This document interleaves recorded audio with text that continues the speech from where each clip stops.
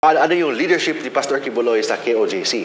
Ang tanong, yung ibang mga tumatakbo ngayon, as senador, may mga exhibit ba? Or laway lang ang puhunan nila?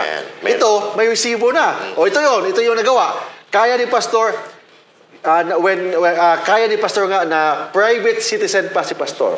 How much more kung maging senador siya? Correct. Di ba? He is a senator, boses siya ng mga inaapi. Boses siya na walang mga walang mga boses sa government.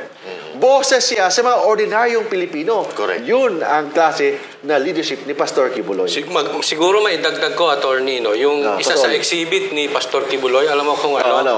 Yung love your enemies. Oh, tama. Yeah. Kasi nakita natin eh, Ah. yung kahit na ginaganon Ah. sila, ma- mahal eh, minahal pa rin nila. Ah, tama. Bakit importante sa politika yan? Yung love your enemies. Ibig sabihin, walang magiging patas. Mm, Hindi tama. Mm. yung pagkalaban, tuturing ng kalaban, pagkakampi, Oh, yeah. ah, bibigyan ng pabor. Ito hindi. Ah, kung kaya mong mahalin ang iyong kaaway, ba matindi yun? Yes, tama. That's why yung mga platform niya, sabi niya sa akin, which in my speech, yung speech niya, uh, yung speech ko kanina, nilista ko lang lahat yung mga pinagsasabi niya kagabi sa akin. Impromptu ko sinasabi yon, but nilista ko lahat ng sinasabi niya. Ano sinasabi niya? Focus siya sa education.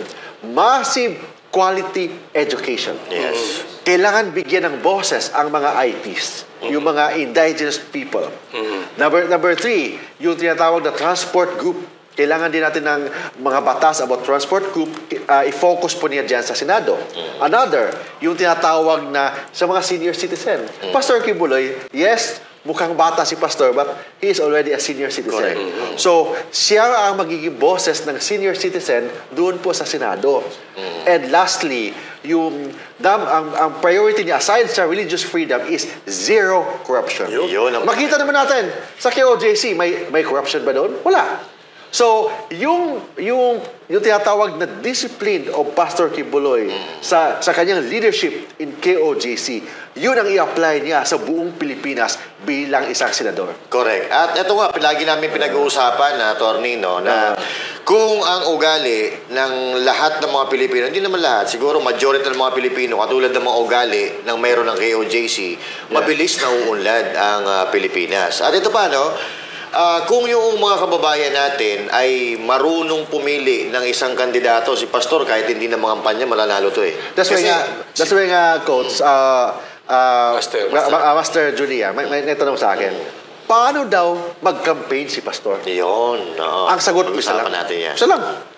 Hindi kailangan si pastor ang mag-campaign.